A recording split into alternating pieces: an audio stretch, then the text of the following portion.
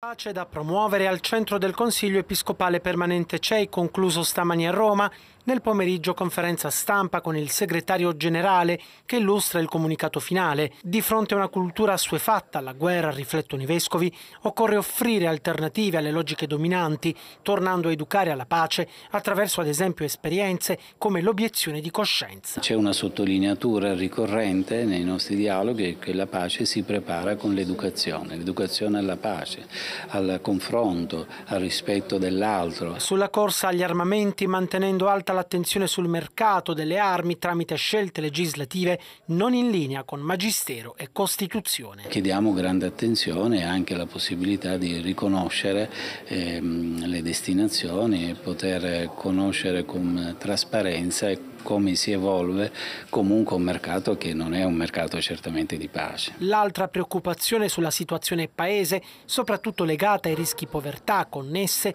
alle diseguaglianze nell'accesso ai servizi, ad esempio nelle aree interne annunciato perciò un documento entro maggio tramite cui la CEI esprimerà una posizione unitaria sulla questione autonomie differenziate. Perché non c'è eh, sussidiarietà senza solidarietà, bisogna evitare sia l'assistenzialismo che il particolarismo senza legami con il resto del paese. In vista del Giubileo 2025 sarà dunque attivato un progetto di microcredito sociale con l'istituzione di un fondo di diverse decine di milioni di di euro per sostenere quelle persone schiacciate da debiti di cui hanno bisogno di liberarsi. Sul fronte ecclesiale prosegue il cammino sinodale, riscoprire il ruolo di padrini e madrine, evitando l'attuale diversificazione della prassi pastorale delle chiese locali, che in alcuni casi hanno sospeso questa figura.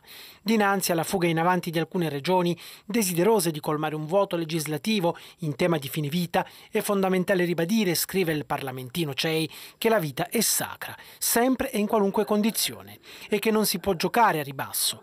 Infine, l'orizzonte di partecipazione civica con le prossime elezioni europee. Chiediamo di poter votare e, di, e, e a tutti i candidati di impegnarsi per uno sviluppo di un'idea di Europa come la casa dei popoli e la casa delle persone, perché vengano custoditi questi valori e non sacrificati a logiche commerciali o a logiche di guerra.